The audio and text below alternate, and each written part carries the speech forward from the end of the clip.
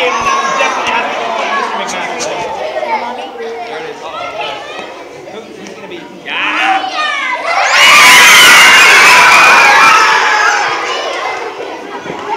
How's it taste, Mr. Duke? I can't even see. I see